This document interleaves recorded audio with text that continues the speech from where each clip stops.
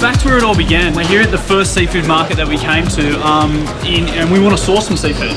Yeah, we've got a, a, huge dinner to do for the Australian Ambassador. We've been invited by the embassy to cook at the Ambassador's residence, and it's a huge deal for us. We're really proud to do that. Yeah, and we're not going to cook Mexican food. We're going to cook what we would love to cook back home. Yeah. Um, and, and we're really looking forward to it. So we need to suss some ingredients out. First thing, salmon. Yep. Let's go get it.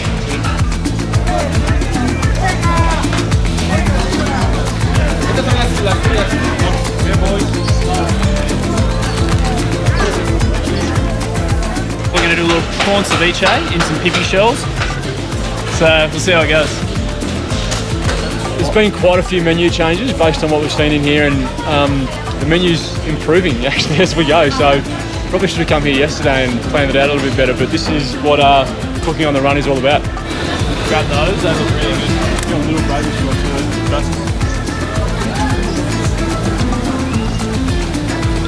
Diaz? Yeah? See. Well done. I don't know if anyone saw that, but that was me going to town on the Spanish language. Ordered 10 passion fruit.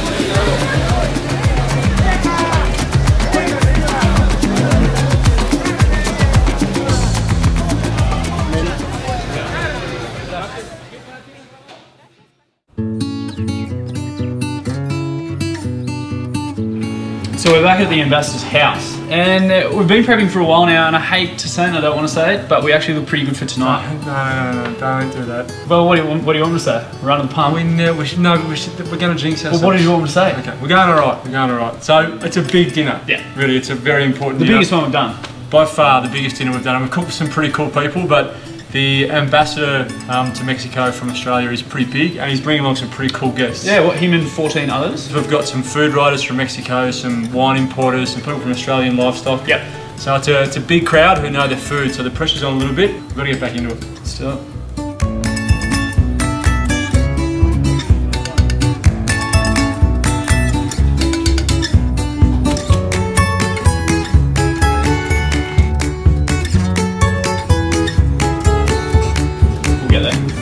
The only thing that we're slightly worried about is the meringues. Yeah. Um, the sugar keeps leaching out of them. You're a bit nervous. I'm a bit Are you? nervous. I just went out and had a look at the table setting. This is a big deal for us. Yeah. We um two just lads from Aussie, and uh, we're cooking for the ambassador, so it's a pretty big deal. I think Benny's freaking out back there.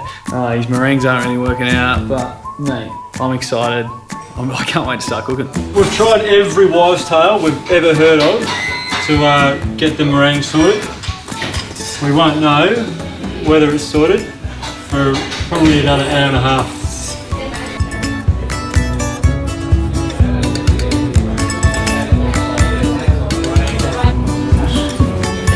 We've just discovered why the meringues aren't working. It's because we're at altitude and apparently you need a completely different recipe at altitude than the one that will work at home.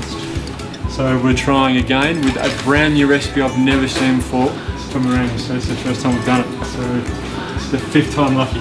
Firstly, I'd just like to introduce uh, Ben and Andy. It's great to have you both here. Thanks very much. Thank you. I know you're both fans of Mexico. We are. You, you've Love just been doing a, a sort of a culinary tour. Of, Eating our way through it. So throughout the night, we'll come out before each course um, and explain um, what it is, where we got the inspiration from it, um, and a few other little things along the way.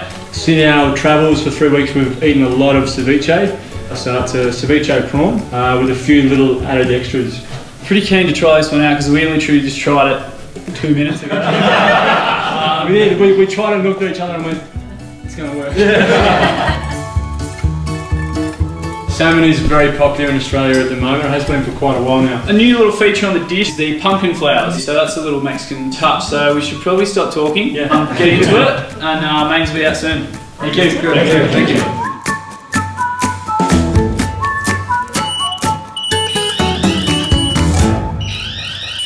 Vamos a tener un espacio. Just me this time. You don't get Andy's lovely face because this is a pretty intense time in the kitchen. This is probably about as Australian as we're going to get. Slow cooked two shoulders of lamb, put that in a, a tray and then put it back in the fridge and pressed it. And then that's cooked again, so it gets cooked three times. So we just pan fry it to crisp it up a little bit. And then the other is just the lamb backstrap, um, which we're just going to pan fry, then oven roast, and uh, cut on the medallions. And if I don't get back in the kitchen, Andy will go mad. So I'm going to leave you Um, and then we'll be able to come out and chat a little bit more length with dessert. So I'm getting back in there. Thanks. Thank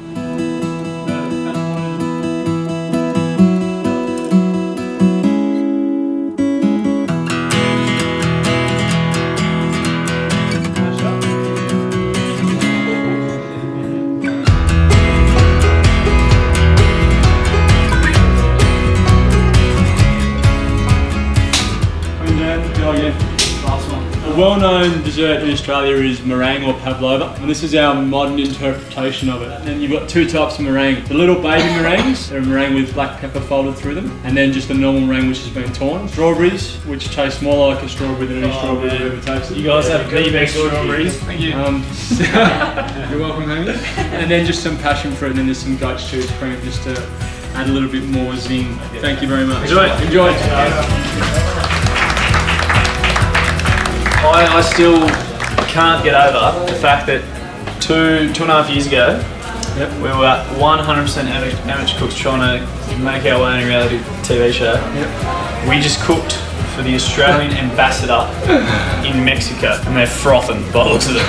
Imagine if, you, if I'd have said you at our first ever audition, we'll be cooking for the Australian ambassador in Mexico in two years. Tell me to piss off.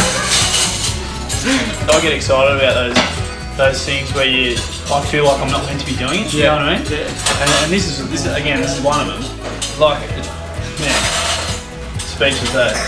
About, It's been a big day, it's been a long day. it's been a, but an awesome day. I don't think it will hit me that we did it until I actually get home to Australia, um, watch the, footage, the footage back, Yeah. and think, I can't believe we just did that. No. It's done. Tequila?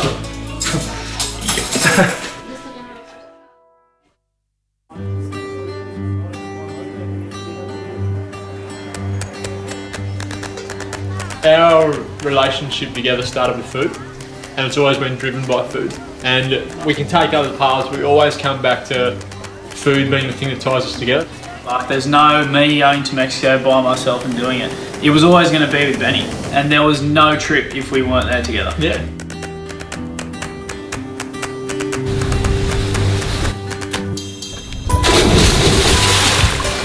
I think the most important thing is that we did it our way.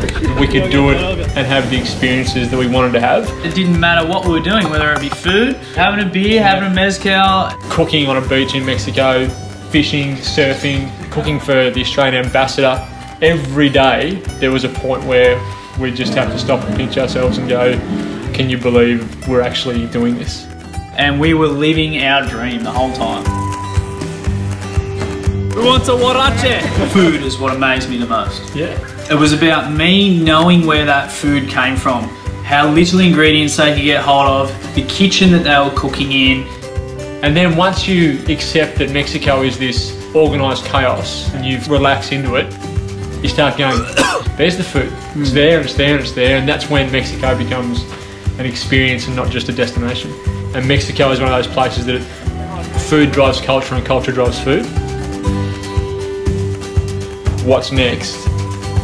Everything. It's like this is day one. How do we look, boys? We've got our whole lives ahead of us to travel the world and get to as many places as we can possibly get and learn from those places. There's a whole nother world out there, so to speak, that Mexico is just a start of.